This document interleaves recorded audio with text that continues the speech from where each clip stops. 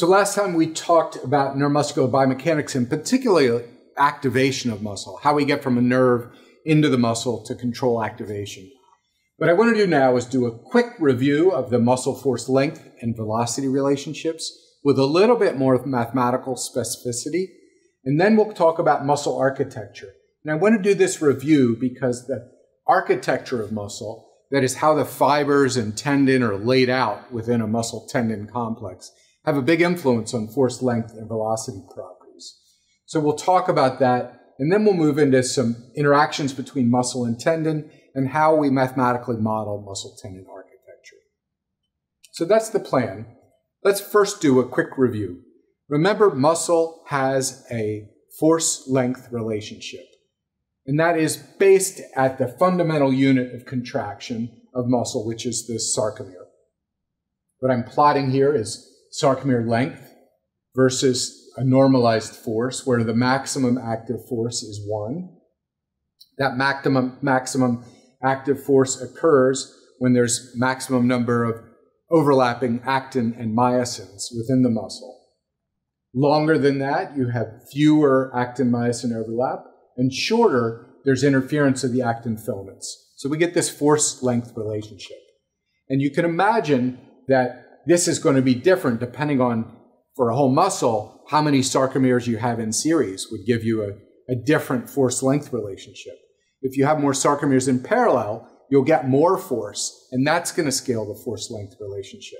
So we'll look at that in some detail. We conceptualize this in terms of whole muscle with this force length curve. So again, now what I'm plotting here is muscle force versus length for a whole muscle and defining some terms.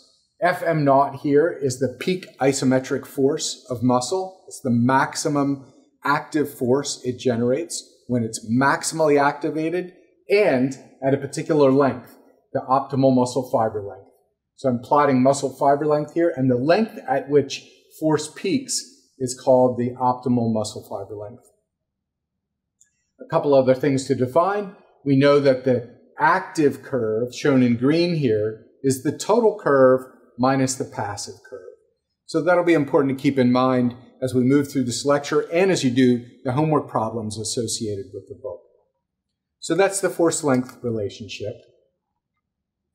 As I mentioned, the maximum isometric force, or sometimes called the peak active isometric force, and optimal muscle fiber lengths are two of the parameters that are really key to a muscle. You can imagine how much force a muscle generates and the length at which it generates it could define a muscle that has a, short fat muscle that has a big cross-sectional area, generates large force but over a small distance, or a long thin muscle that has the capacity to generate force over a great range of lengths but not much peak force. We'll look at that in detail in just a minute. A little bit more tricky is the force velocity relationship of muscle. So what I'm plotting here is the force a muscle can generate versus its muscle fiber velocity. Also defining a term called the maximum muscle fiber contraction velocity here, Vmax over here. This is the shortening or concentric part of the force length curve. That's when a muscle is doing work, it's generating force and shortening. So the force and displacement are in the same direction. So that's positive work. And I'm also plotting the lengthening direction, eccentric contraction, where the force is this way, but the muscle's being lengthened in this direction. So you can generate very large forces and it's negative work or negative power.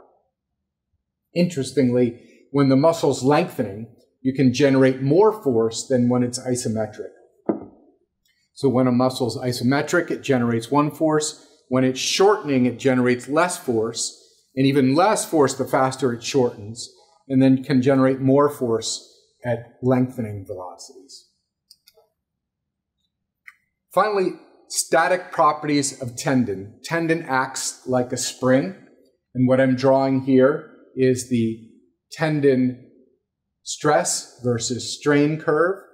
We see a toe region here where it's nonlinear, then there's a linear region, and then above a certain strain, the tendon begins to break. A couple key relationships. One is the stress in tendon that I'm showing here is stress in tendon is the force in tendon divided by the area of tendon. So we're assuming that the stress is uniform across the area of a tendon, so we can just divide the total force in tendon by the area. Tendon strain is the stretch of tendon, so the length of tendon minus its slack length divided by the slack length. So here's the stretch in tendon divided by the tendon slack length. The tendon slack length is the length of tendon at which it just begins to develop force. And you can see that here. So just where force starts to develop is the tendon slack length. So now we have defined tendon stress and tendon strain, and we can use those parameters to begin to make some calculations. The best way we have to make calculations in a muscle tendon complex is this uh, hill type model of muscle and tendon.